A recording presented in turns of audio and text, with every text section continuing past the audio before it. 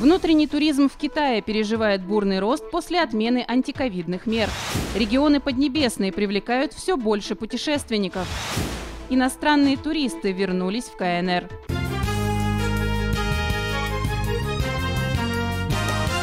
Пандемия коронавируса осталась позади, а вместе с ней ушли ограничения для туристов. Открытые границы вернули жителям Поднебесной возможность путешествовать за рубеж, но многие из них все равно не торопятся покидать страну.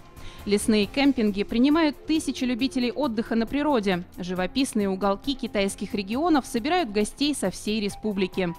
Социологи фиксируют бум семейного отдыха. В приоритете здоровье и разумная экономия бюджета. Модные экологические тенденции пришлись как нельзя кстати. Мы приехали в рабочий день, потому что выходные здесь очень много людей. Поэтому мы взяли небольшой отпуск. По данным Министерства коммерции КНР, уже в первом полугодии 2023-го туристический сегмент стал самым быстрорастущим на китайском рынке услуг и занял на нем второе место.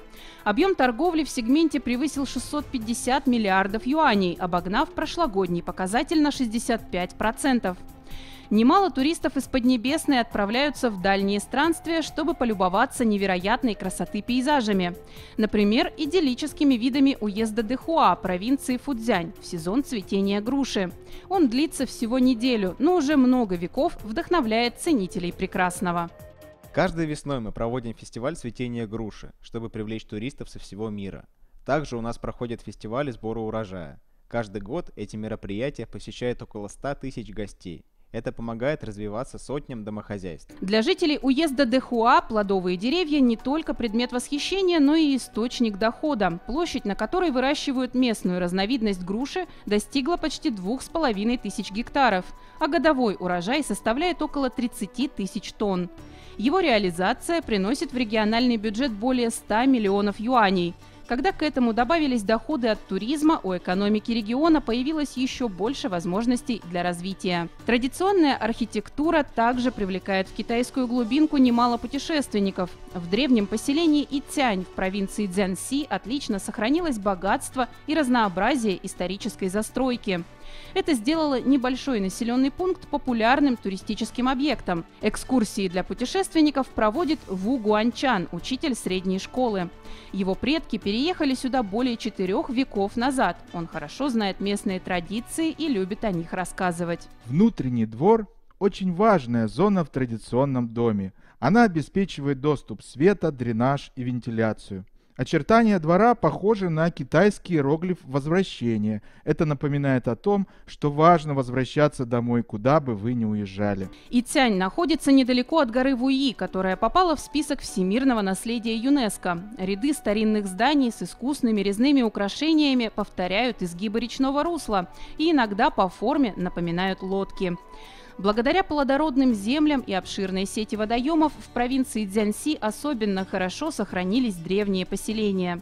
Более 400 из них входят в официальный список исторических достопримечательностей Поднебесной. В провинцию Гуйчжоу часто едут путешественники, которых интересуют древние обычаи малых народностей Китая. Например, в поселок Яошань, где живут представители этнической группы Яо.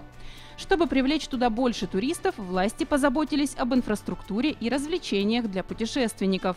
Здесь ценители древних традиций могут остановиться в гостевых домах и посетить ремесленные мастер-классы. Государственная поддержка помогает местным жителям больше зарабатывать и сохранять традиционный уклад.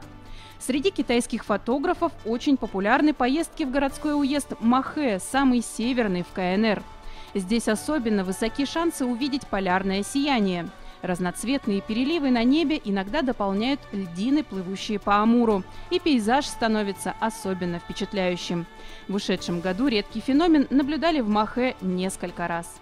Мы увидели северное сияние в первую же ночь после нашего приезда. Вначале появилось красное свечение. Примерно через полчаса оно потускнело, и мы уже думали, что все закончилось. Но тут небо окрасилось в зеленый. Было потрясающе красиво. Путешественники из-за границы проявляют не меньший интерес к красотам Поднебесной. Когда коронавирус отступил, китайские власти пошли навстречу иностранным туристам и стали выдавать им все типы виз по допандемийным правилам. Теперь в КНР снова едет много гостей из-за рубежа. Одна из самых популярных достопримечательностей – шанхайский Диснейленд, где царит атмосфера культурного многообразия. Здесь можно увидеть европейские наряды и традиционные костюмы из Поднебесной, тыквы в честь Хэллоуина и 12 мозаик, которые представляют знаменитых диснеевских героев в виде китайских знаков зодиака. Всегда хотела попасть именно в шанхайский Диснейленд. Я много о нем слышала, поэтому очень рада, что наконец сюда приехала.